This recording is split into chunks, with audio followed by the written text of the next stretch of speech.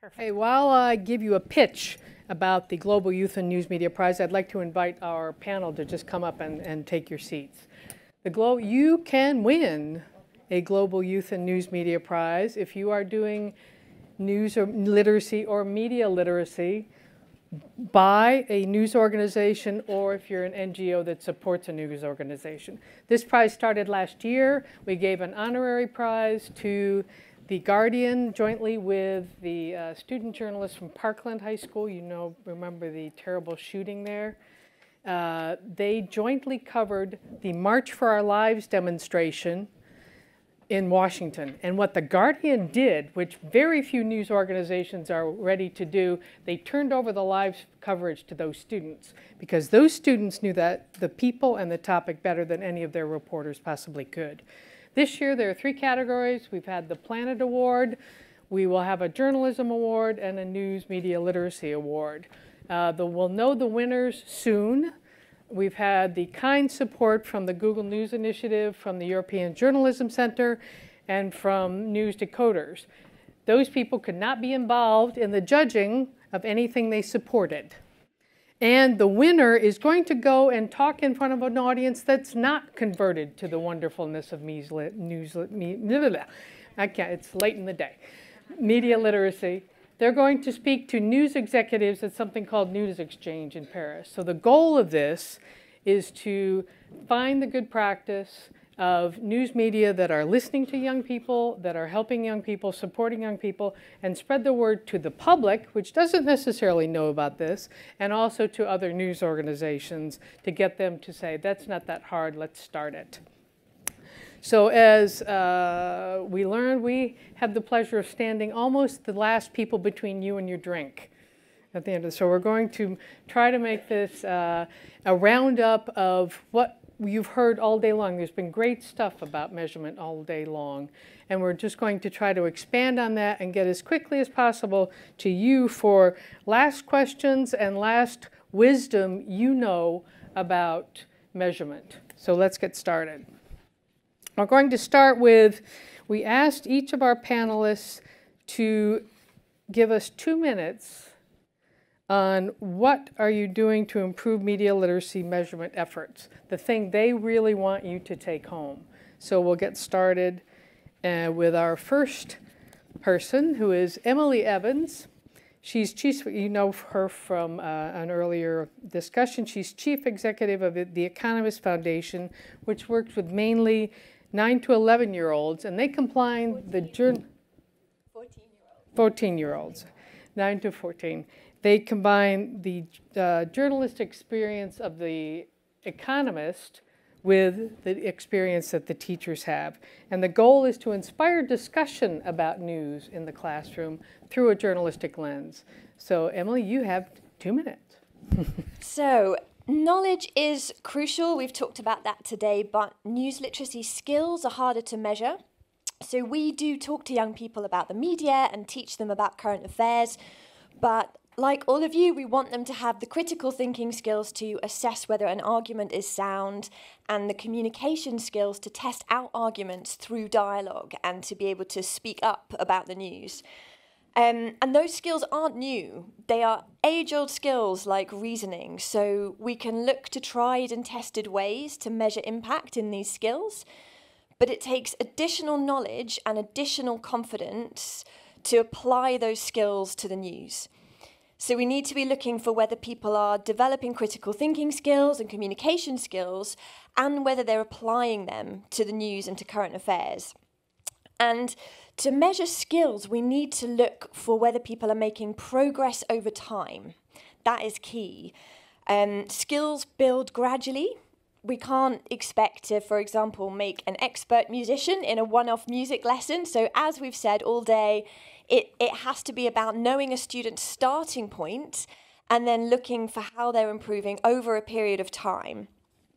We have been measuring our impact in skills progress for uh, four years or so, and we've now developed a framework that reflects some of the things that we think are important. So, number one, define very specifically what success looks like. So, in ours, it shows what we think a news literate young person must know and be able to do.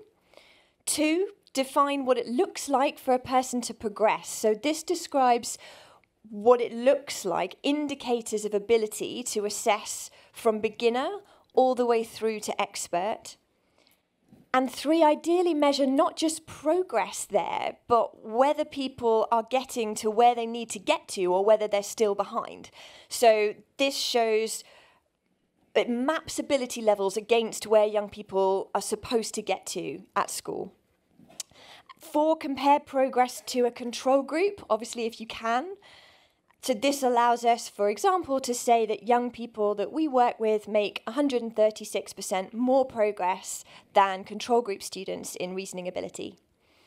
And five, it has to be usable. It has to be usable for teachers, it has to be usable for students, and it has to be adaptable. So, this is supposed to be something that we can use for our programs, but also that anybody could use with any news literacy initiative. So, it's free. If you want to use it and you think it's helpful, then please do. So, lots to say about impact measurement, but, um, but those are the things that we think are, are helpful to know. Okay, thank you.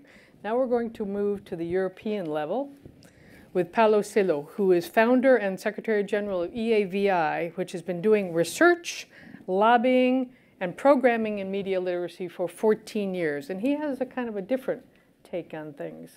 Yeah, hello to everyone. Uh, the, uh, these are some of the studies that we did on behalf of the European Commission. Uh, and uh, yeah, indeed, we organize conferences, uh, by the way, as well as uh, other activities. We do a lot of lobbying.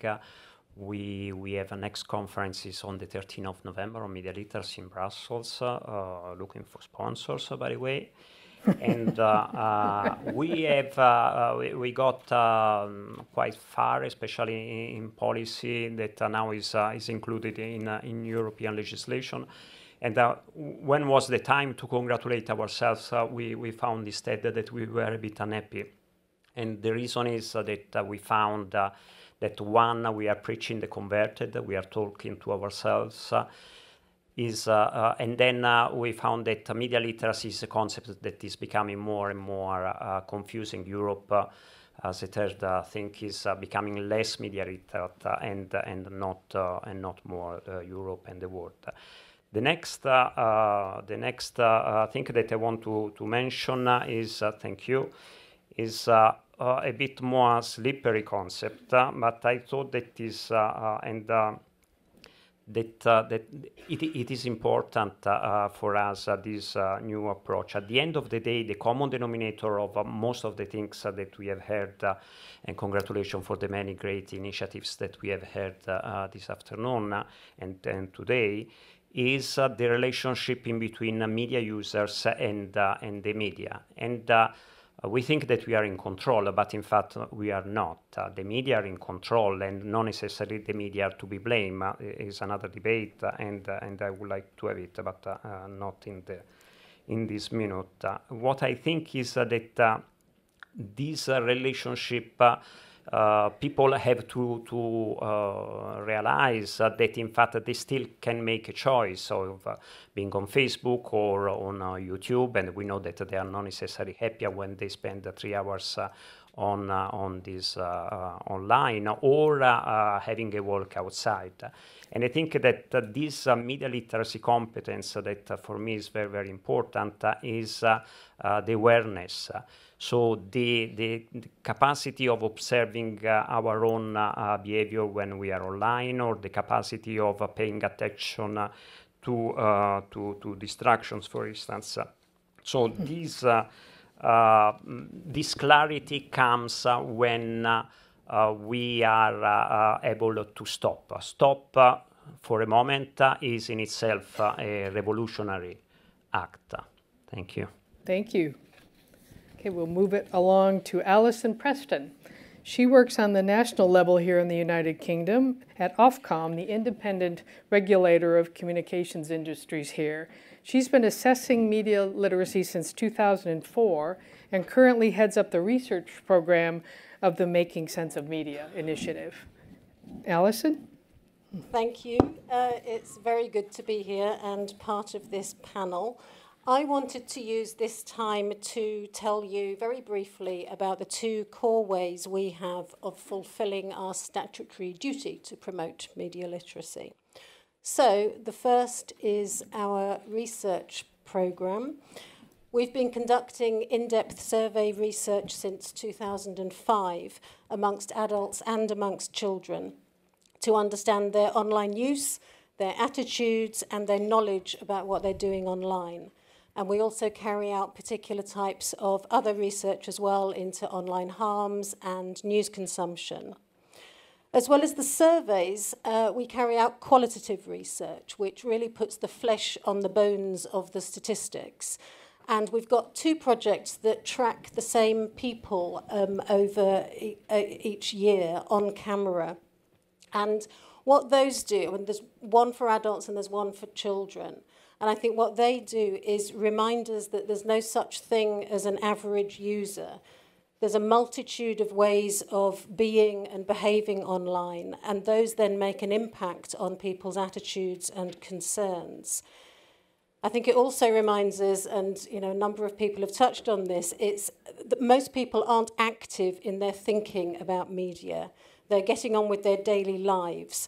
And I think the consequences of these points we'll uh, touch on later in this session. But the second main area that Ofcom is focused on now is the role of coordinating and collaboration. And again, those are two words that we've heard a lot of today. There's so much going on, um, as, we've, as we've heard, but there is this appetite to make sure that we bring together and coordinate such work. So we announced in the summer that we now have a panel of 11 key stakeholders uh, that help us in working through the steps needed in this sort of activity. And um, delighted that Josie's here, who's, who's on the panel as well, and, and various others. Um, and importantly, we also announced then that we were setting up a network, which is open to all, to join people together for collaboration, sharing best practice, all the things that we've been discussed today. And so we'd be delighted if you'd join us. And you can see the URL there, um, or you can do the, do the Google thing and help us make a real step change in all of this. Thank you. Thank you, Alison. Last but not least is Yu Yu Young of Yuhyun Park of Korea. She has been a Harvard and MIT trained biostatistician and then she went into consulting in one of the leading business consulting firms in the world. And then she turned her attention to digital literacy.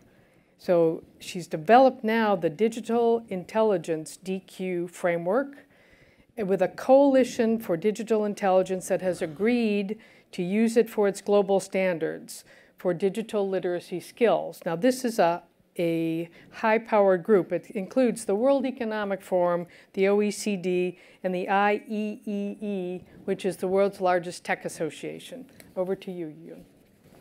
Um, would you mind me standing up? Otherwise, please do. Yes, I think um, that's a great idea. Yeah, I need to stretch my body. Um, thank you so much, Google, for inviting us. Um, we talk about measurement. I'm a statistician. I'm a number person, but when you talk about measure, you have to think about what to measure, right? So the problem right now is that digital literacy, news literacy, media literacy, we have uh, so many different terms and everybody have a different understanding. The first thing that we have to do in order for us to measure our progress, we need to have common language. So Coalition for Digital Intelligence is just has a one aim, we want to create the global standard, common language for digital literacy, skills, and readiness. Why they choose the digital intelligence? Because we are very simple. We look at the eight different digital life. One is a digital literacy, but we look at digital rights, digital identity, use, safety, security, emotional intelligence, and others. And we look at three levels, starting with the first, citizenship life skill. We need to know how to live online safely, ethically. Second, creativity. Third, competitiveness. So with this the three by eight framework, we collect all leading frameworks around the world. So 2019 March, we published uh, um, our first report. We look at the 25 leading frameworks and we mapped against the DQ framework. So the first practice we did is let's create the common language. But it is not about the standard, it's about collaboration, as everybody say. We are talking about moving target. Technology move, media move. So we need to evolve our standard always on the move. So we'd love to collaborate all of you to co-create this standard together. And yes, I'm a researcher, I'm a thinker, but more importantly, we are all doers. So that was a brain work.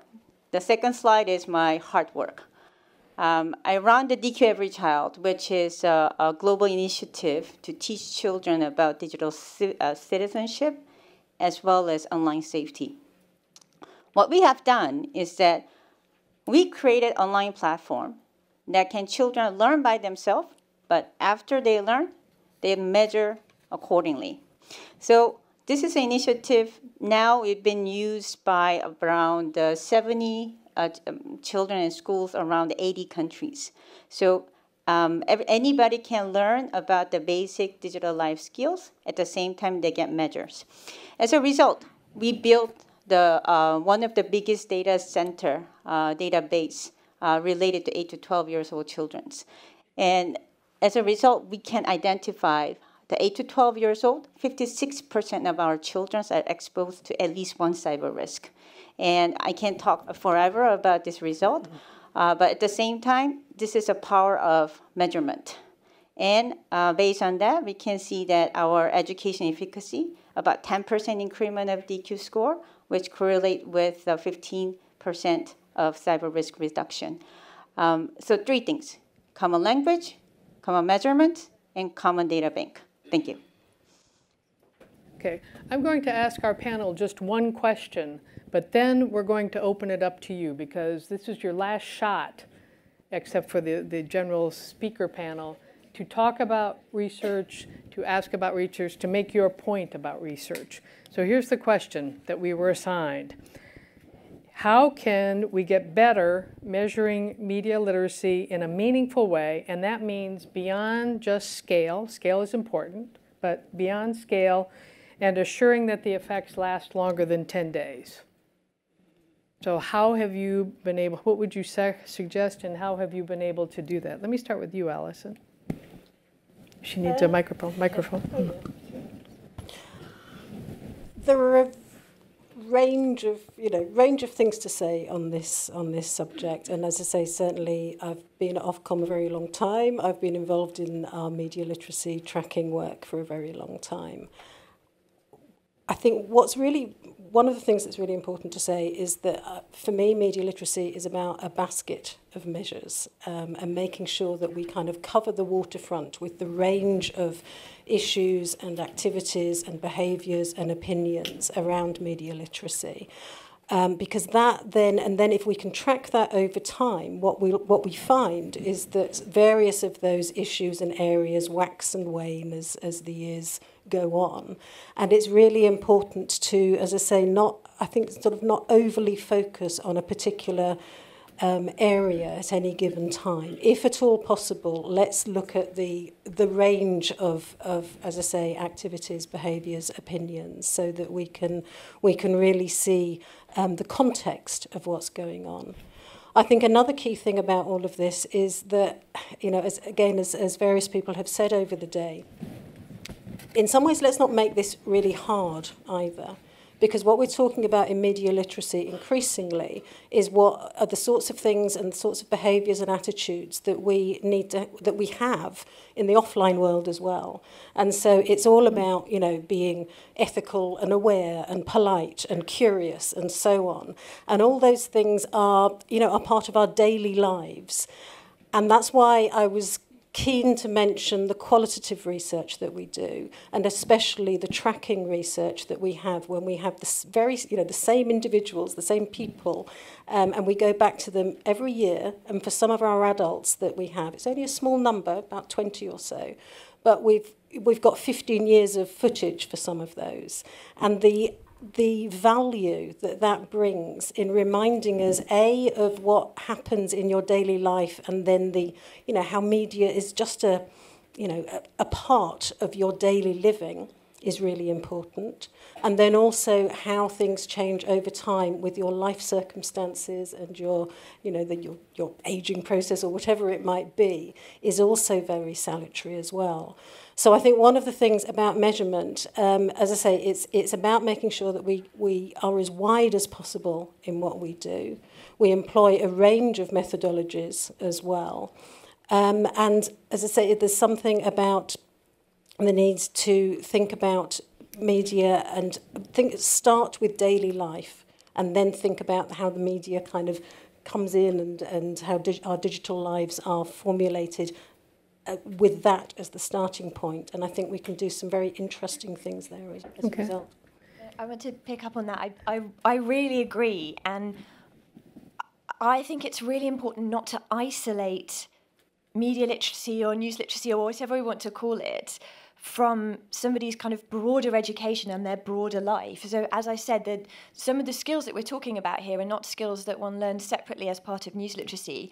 They're the kinds of skills that hopefully somebody is developing if they're getting a good education, that they are somebody who learns to form a strong argument and to question things and to have the confidence to challenge authority. Um, and that the kind of knowledge that I think is really important yes, they need to have knowledge about the media and, and, and how news is created.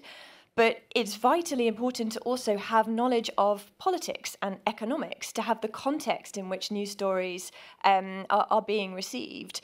So, in terms of the relevance to impact measurement, I think we need to not reinvent the wheel. We need to be looking at what are the skills that are really important for this world that is concerning us, in which news literacy has become a buzzword.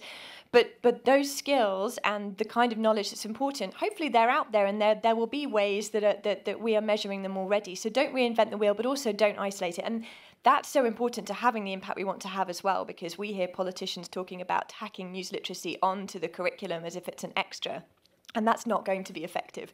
So that, and it comes to the common language point as well, that um, I think it's absolutely vital that we have a common language.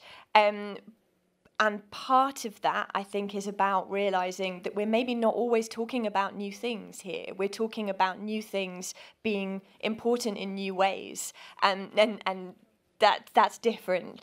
Um, yeah, maybe I won't ramble on. I think those are the two Okay. important things. Well, since you mentioned common framework and common language, uh, you, you, maybe you could talk about your Singapore UK common framework. So common framework that we develop is actually looking at um, about 10 different countries and uh, 25 different framework. But assessment-wise, uh, what we are doing currently is together with the Singapore government, Skill Future, and the City of London's, we um, we are discussing with uh, uh, UNESCO and a few others uh, NGOs who has the very leading assessment why don't we combine together our effort together and build a common assessment, common instrument, as well as common data bank? Um, because at the end of the day, um, assessment and data are inevitable. Um, and it is very important. Once we have a common language, we need to also have a big data that measure in a consistent way. Um, so um, I- I'd like to invite you, if you have uh, assessment tools that you want to be part of it, uh, please come and talk to us. But related to your questions, I think you know, like we sometimes um, it's it's a pitfall that technologists or statisticians often fall into. Measurement is not about actually data. Measurement is about the story. Measurement is about what we want to achieve collectively.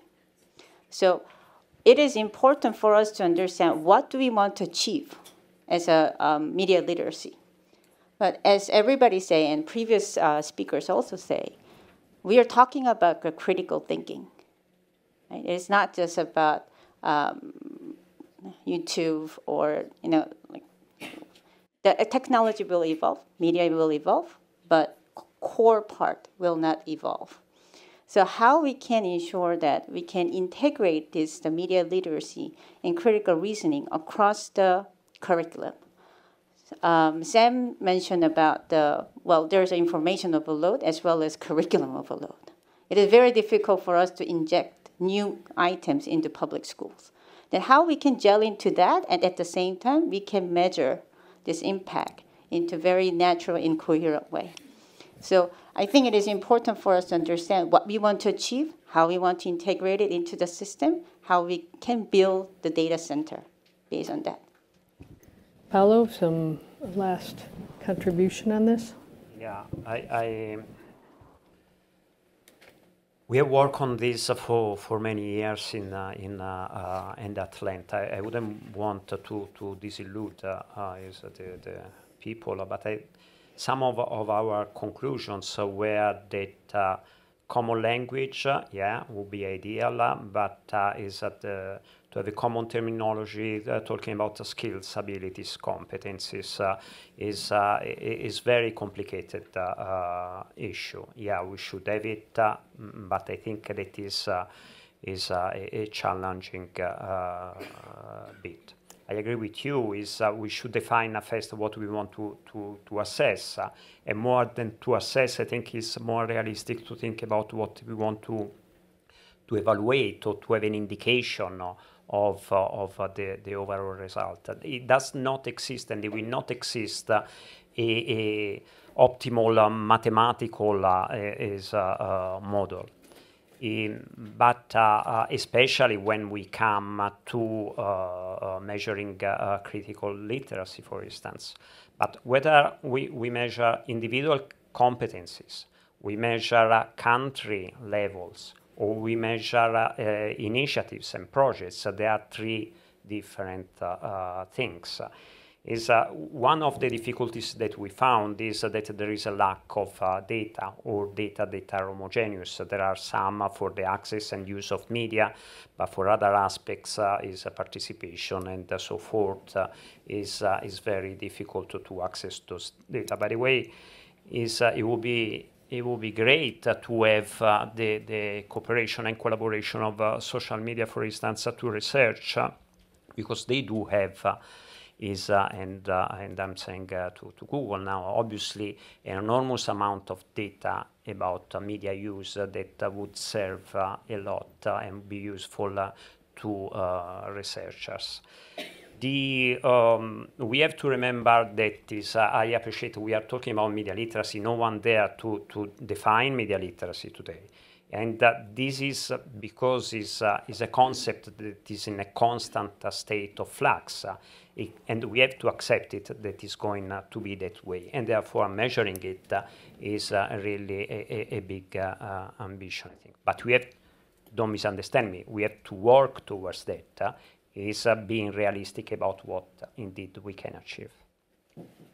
Well, I, I, I have a slightly different actually idea about uh, how we define the media literacy.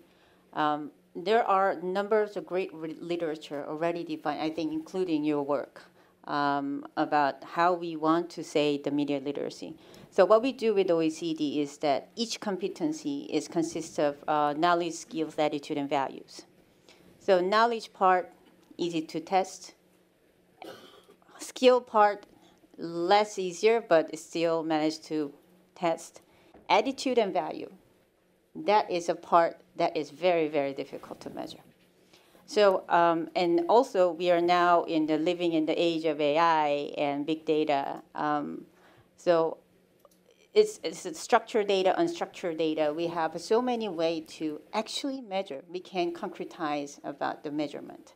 I, I, I have a, I'm a firm believer for that. But as you say, I think it is not the easy task, but it is also very important to notice that there are a lot of data all scattered around the world.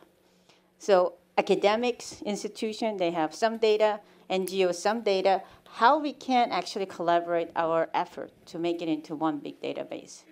So uh, um, I was a biostatistician. We had a GenBank. We had a like uh, human genome projects to collaborate this effort. Why don't we do that? So I think that is one of the things that we would love to have the conversation. Now I'd like to open. up. last. Sorry, I yeah. was just going to, to add to that. I think that the you know the collaboration point is is really important. I think added to that, though, and as you say, in terms of in terms of the the challenges of measuring or kind of defining a levels of media literacy, it's I think we need to be as granular as we possibly can amongst different audience and user groups because if you're online and you're only going to Marks and Spencers to do your shopping online or something versus if you're you know voyaging uh, widely, uh, you know, across all sorts of different sites, you're going to have, you, understandably, you're going to have different levels of confidence and concern and so on. Whereas if you, if, if we amalgamate all those into a kind of single uh, measure, then that I think is, you know, is, is tricky. We need to be looking at as many, you know, breaking our data down into the particular audience group, the particular user groups, um, the particular types of use online, and then we build a much richer picture of what's really going on and a reminder that our, you know, our ways of being online are incredibly different now. Can I make a really quick? Sure, sure. I promise it'll be quick. Um, I think pragmatism is really important because it is really hard. I, I, as you say, it's. I think it's important to accept that it's really hard. And evidence that it's really hard is that when we looked just for frameworks to measure critical thinking and reasoning, there's no common language on that either, and that's been around for a really long time. Um, so I think it's important to admit that it's hard, and therefore to be honest and transparent is one of the most important things that you can do in impact measurement. To not be making claims that you can't substantiate, and to just be honest about why you do believe this thing or that thing about your program. And that helps with the collaboration point too. If we're being honest about how we're evaluating, then we can work more, more easily together. Okay, let's open it up to you for questions and last comments about how we can do it better. I know it's late, we'll do it. I can't see. Over there on the that side, in the back. Remember to tell us who you are, and then one over here. Um, thank you so much. Faye Lance from the National Literacy Trust. It's a really fascinating panel. Thank you all. Um, one thing that I've noticed today is that we're talking a lot about um, participants in all of our programs as consumers of, of news and online content. We've not talked a lot about the way that uh, most people in the world are engaging with content, which is as active creators of content themselves. Really interested to hear from this panel whether there's any examples of best practice or kind of tools you've used to kind of assess skills or even to sort of target programs at particular people who are who are clearly struggling with their media literacy from the content that they're creating? I don't know if that's a very clear question. Did you understand that? So, so best practice in supporting young people to develop news literacy as through creators creating. of content rather than as consumers of content. I mean, I can't help but do a small, very quick plug that for us. sure. um, so, well, one of the things that we do, we have a program called the Burnet News Club, which um, we give teachers what they need to work with their kids in their classrooms. Um, it's blended learning. Lots of people talking today about in person and online learning combined. So the teachers have inspiring discussions with young people about current affairs, covering things from what's happening in Hong Kong to Trump's wall. Um, so we look in depth at important topics, inspire and engage. But then the young people have to um, form sound arguments and express those themselves. And we find that's a really important part of engaging them and developing their news literacy. That's really exciting, and giving them a real audience is massively inspiring. So they're then able to publish their work on our platform, um, which kind of elevates what they have to say because it's an economist branded platform.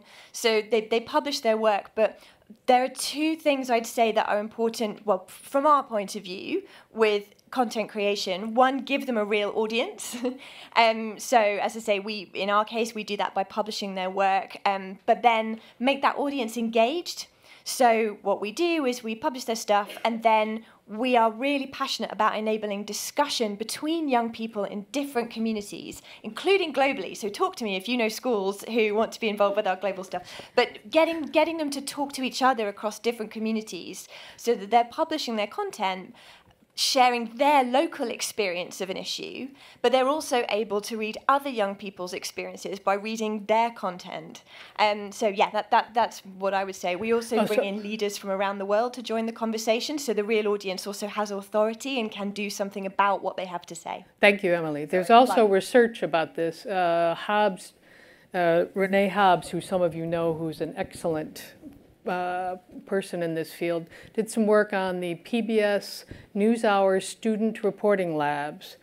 And she found that the production of news was really powerful in uh, increasing understanding of other people, willingness to listen to other people, and in other media literacy skills. I've not seen much else about research. We've got a lot of experience about production, but research about it. Have any of you had any uh, seen any good studies about that. That's about the best one I've seen. It's from 2016.